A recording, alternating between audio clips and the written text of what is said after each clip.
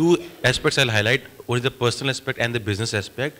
In the personal aspect, uh, there's a very drastic change. There was one moment when I was really low on my personal life uh, decisions. My team motivated me to meet Aparna and uh, in the office, Rahul sir and Aparna ma'am gave me a, a, a very long chat over how should I look at it.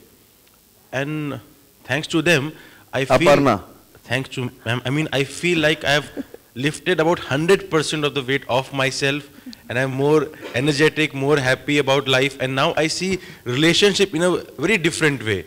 Probably I was in a fix which I thought I could never solve.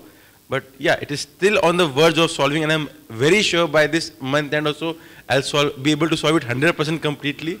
And it makes me really, really very happy about myself now.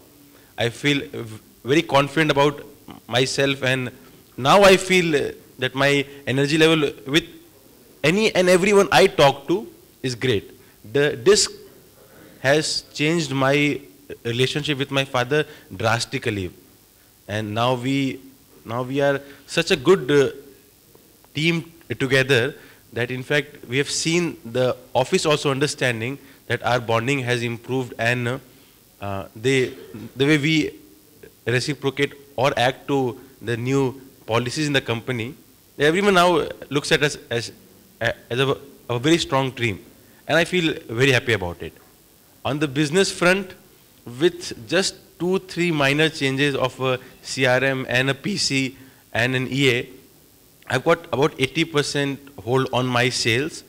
And uh, in the last two months, which were the lean season for us, we have actually increased sales by about 12 to 13%.